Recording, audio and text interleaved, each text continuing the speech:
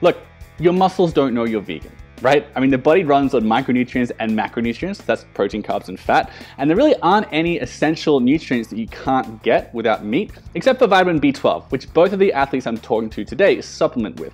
And before you start thinking if they have to take a supplement, their diets are incomplete, let's not forget that the vast majority of athletes I've interviewed on this channel, including many world record holders, Take supplemental protein powder, vitamin D, omega-3 fatty acids, multivitamins, and so on. And no one ever calls their diets incomplete because they're getting a little bit of help from supplements.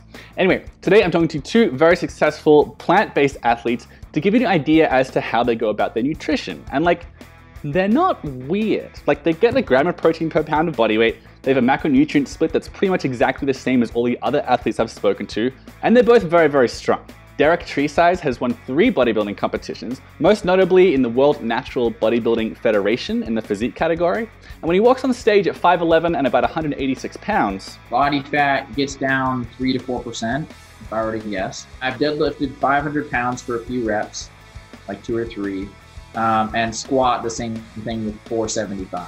So not record breaking weight by any means, but pretty heavy. Bradie Crandall, meanwhile, is a state record holding powerlifter in the American Powerlifting Federation. His records are a 617 pound deadlift and 1,505 pound total. He's also benched 345 pounds and squatted 565 pounds, and all four of those numbers I just mentioned are junior records in his federation because the lad is just 23 years old. Now, both of these athletes eat well over 3,000 calories. Right now, I eat uh, about 3,750 calories to maintain. When I'm trying to gain weight, I have to take it well over 4,000, but it totally depends on goals. As I mentioned, they get about a gram of protein per pound of body weight every day. Also, about 20% of their total calories come from fat, and the rest come from carbohydrates. And if you've ever heard any athlete talk about the nutrition, they pretty much always follow that same split. Is it harder to go low carbohydrate as a vegan? Yeah, it is. But are you going to be going low carb if your goal is to work out a ton and gain a bunch of strength and muscle? No, it, it's not. It's not going to be that way. So we're going to go into the potential benefits of going plant-based or more plant-based. But first, I'm going to answer the question that everyone wants to know, what do vegan athletes eat?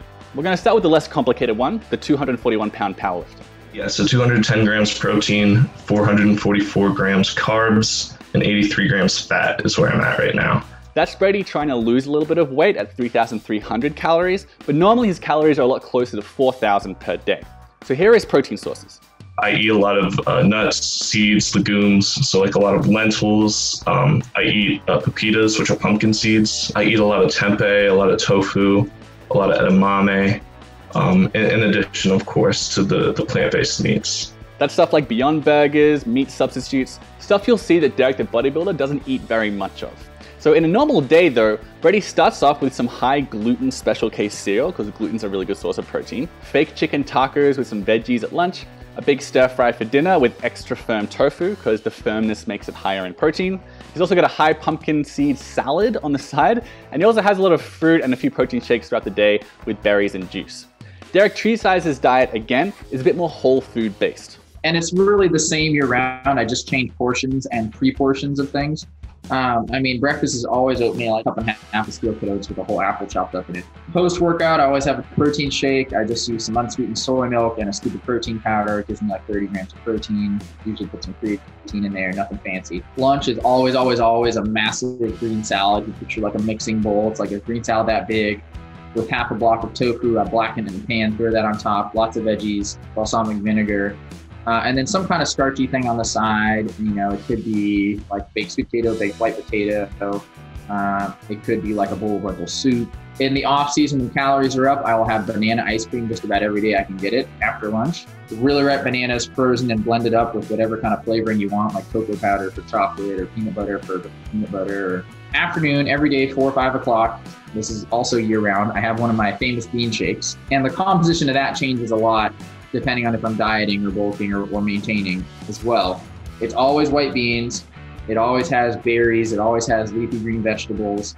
Usually has a banana unless I'm like right before contest when I can't even afford one of those. But off season, I'll throw in dates and peanut butter and you know walnuts and all this really high calorie stuff. And Derek's dinner varies. Like sometimes it'll be beans and rice, sometimes it's stir fry. If he eats out, it'll be like Indian food or Thai food. But yeah, during the day, it's pretty much the exact same thing, just the portions and proportions vary based on his body composition goals.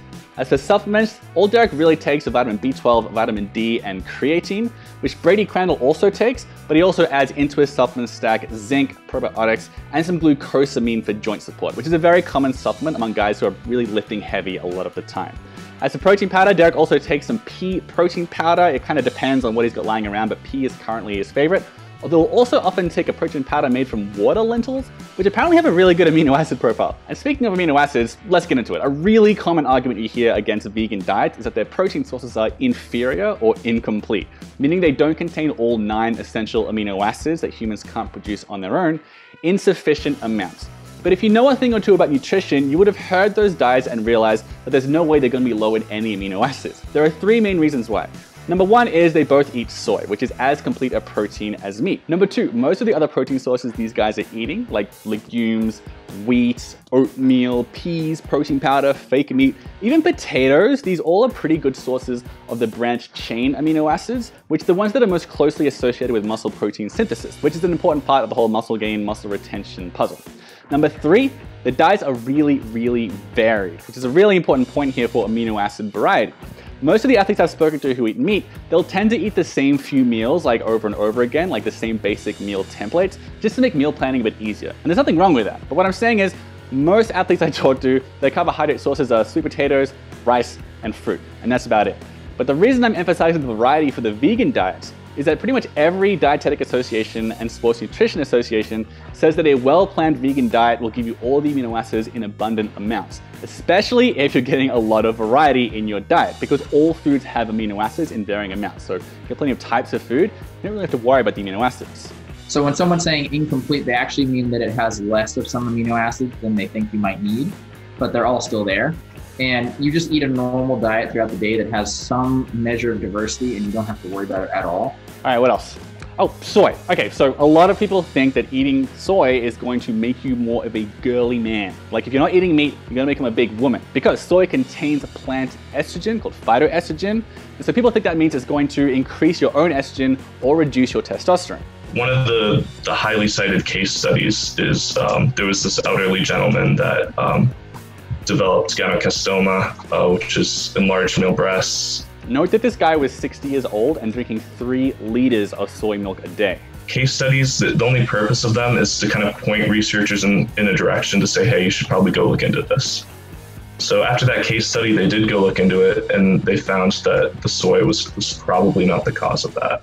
Yeah, a meta-analysis of 32 studies found that soy has no impact on your testosterone or your estrogen, and this included athletes and people eating up to 70 grams of soy protein a day. If you're very worried about this, I actually made a full, very good video about this right there that you can check out, where I go into like the different types of plant estrogen, how many of them have been linked to like actual health benefits because they're antioxidants. So some people actually deliberately add more estrogen to their diet. But long story short, all the good research shows that soy is not going to give you high estrogen, low testosterone, anything like that. Plus, if you're really worried about estrogen, you should probably know that plant estrogen is also in apples and coffee and oatmeal and a whole bunch of other foods you probably eat on the regular. So if you think you're totally avoiding plant estrogen by minimizing soy, so while this is not medical advice, speak to your physician if you're thinking about changing your diet. Yeah, there are people who actually deliberately take more phytoestrogen for the potential health benefits. And this brings me to the last section of this video, Three reasons you might want to consider maybe going vegan or more plant-based. Maybe not just forever, maybe for a little bit, maybe for a couple days a week, maybe now and then, but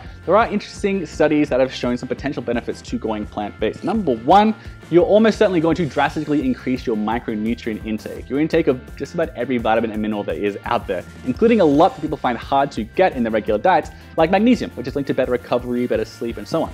Number two, you're probably going to increase your fiber intake as well. And fiber is not just linked to better poops, although better poops are pretty great, but more fiber has been linked to a healthier gut microbiome. That's the uh, digestive tract in your body where there are trillions of bacteria living, which help you to break down nutrients and absorb nutrients. So more fiber does have some links to better nutrient absorption. Fiber goes down there, it cleans your colon, it provides a prebiotic for beneficial bacteria to make butyric acid and things.